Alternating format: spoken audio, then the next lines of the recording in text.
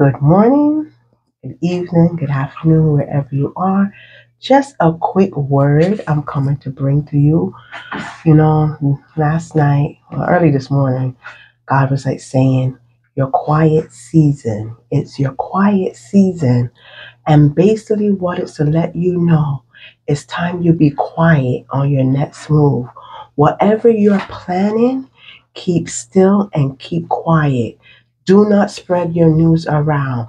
It's time to be quiet. It's your winning season, but it's in your quiet season.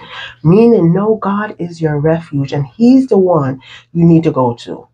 It's time to stop sharing everything with everyone because, sadly, not everyone is wishing you well.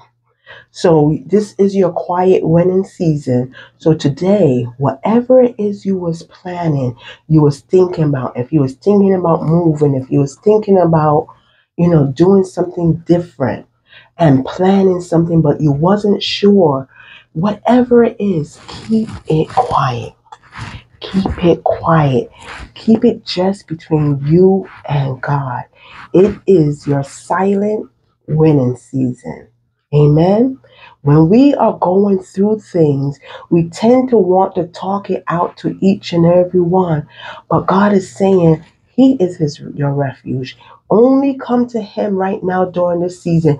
Do not go to, as I say, Tom, Dick, and Harry. Harry, you know what I'm saying? Jane, Sally, and Kim. Take it to God and pray. This is your silent winning season. All right, amen. Go forth and conquer. Victory is yours in Jesus' precious name. Remember, it's your quiet winning season.